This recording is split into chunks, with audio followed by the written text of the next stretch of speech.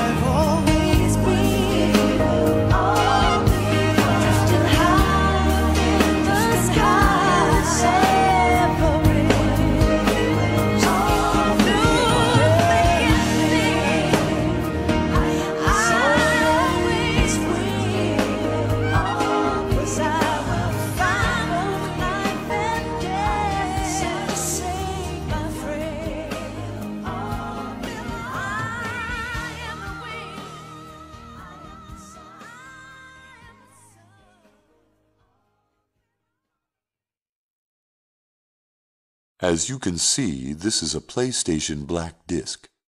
Cut number one contains computer data, so please don't play it. But you probably won't listen to me anyway, will you?